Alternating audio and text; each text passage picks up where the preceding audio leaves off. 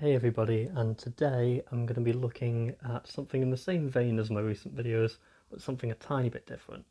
Whereas I've been recently looking at episodes that never were, I'm going to look at doctors who never were. So these are people who were either cast and had very limited runs, or they are people who were in the running for the role and never got it in the end. In this video I'm going to talk about how they would have possibly done and the rumours linking them to the role, no matter how big or small. So this video is going to be a little more informal as I'm working mainly off rumours and conjecture, but I'm going to have some very interesting names in here for you. The first and most obvious name to bring up is David Burton, who in 1991 claimed that he had the role of the next Doctor. This was paraded around in newspapers and Doctor magazine even in 1991, and until 2013 we had no idea if this was true or not. But after being interviewed for the Inferno DVD, David Burton himself had revealed that he in fact had filmed two episodes of a brand new version of the show, where the TARDIS would now be a red phone box with blacked out windows, as opposed to the original. Other than that, there is very little to go off. It's never really been confirmed by the BBC. It's never been, it's never been given any official set photography. There's one photo from the DVD which I'll try and put in this video now. From what I gather, David Burton was more of a comedic actor, so maybe we're going to get someone a bit more like the early Seventh Doctor era, um, Patrick Troughton era. Either way, this is a very intriguing bit of history that has only just become confirmed to us. I thought I'd add that in very quickly. The second person I wanted to include was offered the role all the way back in 1965 or 66 when they were talking about replacing the first Doctor, and this actor was a very well known actor called Brian Blessed. Now, he of course later appeared in Trial of a Time Lord as King Ikaros, is it?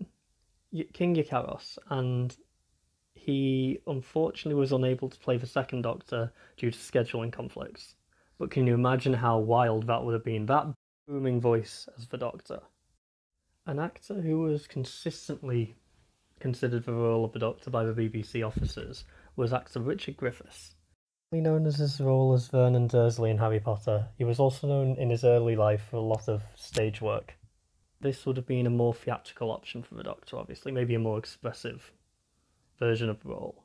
He was offered the role twice, in fact. He was offered it in 1981 to replace the Fourth Doctor, and he was offered it in 1989 to replace Sylvester McCoy had the show gone on.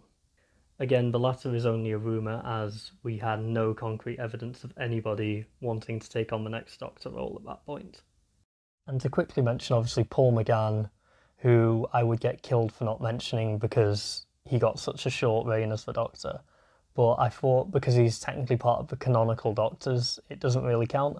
But to briefly say, he was in the TV movie in 1996 and in 2013's Night of the Doctor and you can go and listen to him in a lot of audio adventures and read about him in comic books and the Eighth Doctor adventure novels. Now, with that out of the way, the next most famous Doctor who never was was probably Richard E. Grant, who appeared once again twice in Doctor Who, but one was a one off Children Need special, The Curse of Fatal Death in 1999, where he played one of the many incarnations of the Doctor. The other and more seriously considered time that he played the Doctor was for the Scream of the Shalka animated story. Now, this is personally a Doctor I would have loved to have seen on screen, as he had a lot of darker elements. He looked like a 90s Doctor, you know, that's exactly what I'd have loved to have seen if we got the show in the 1990s. And out of all the people I've mentioned so far, this is probably the most promising one to me and the most tangible.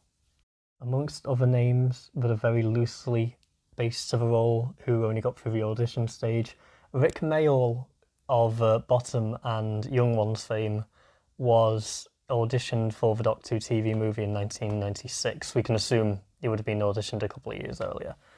But yes, uh, that would have been a very interesting take, and I would have definitely have loved to have seen it. He's got a very otherworldly quality about him. Now, a very interesting one to anybody who is concerned, uh, confused about Jodie Whittaker being the first female doctor, and people will tell you that this has been considered for many, many years. Sydney Newman in 1989, the original creator of Doctor Who, pitched to BBC either doing Dawn French or Joanna Lumley as the seventh Doctor. Now, unfortunately, the BBC um, said flat out no on that, they were not interested at the time in having a female doctor. How times change, right? Well, I think these would have been brilliant choices. If you're going to go in that direction, Joanna Lumley would be brilliant. I think Joanna Lumley would have been brilliant. It's also key to note that Joanna Lumley was obviously also in The Curse of Fatal Death in 1999. Very interesting look into that, that special. I do wonder if they looked into the actors who had been talked about for the role before and then just threw them on screen for the joke of it because Rowan Atkinson had also been considered, as had Hugh Grant, who was auditioned for the TV movie as well. Now, I thought I'd end this with one that I thought had a lot of legs to it when researching this video, but apparently not. Ever since I was very young, I'd always heard the rumours that David Bowie had been offered the role of the Doctor, but I've not been able to find any evidence of this whatsoever. One would assume it would have been in the 80s if it were the case, but there is literally no evidence out there to support this. There is, however, evidence that he was offered the role of Jek in The Caves of Androzani. So maybe that's where people get confused, I'm not so sure. But either way, that would have been massive in terms of the show's popularity. Can you imagine if they could have landed him? When you get to the modern series, it's harder to find anybody who's been considered because they keep that stuff under wraps nowadays. But it is revealed that for the 11th Doctor they considered Russell Tovey from being human, Sherlock, and many other things, including being Alonso in the 10th Doctor's era. With Ben Daniels being considered for the role of the 12th Doctor, had Peter Capaldi not wanted it. I guess the point of this video is that with a role so iconic that can change so much, a lot of actors are going to want to have it. And clearly, a lot of big actors either missed the boat or were missed by the production team at times and they really could have helped the show. And I just think that's really interesting. I know it's not a missing episode or it's not an episode that couldn't have been made, but it's definitely interesting. And I would certainly like to do more videos like this in the future, perhaps a sequel video when more information comes out about the modern era of Doctor Who. But yeah, stay subscribed and stay tuned for the next episode.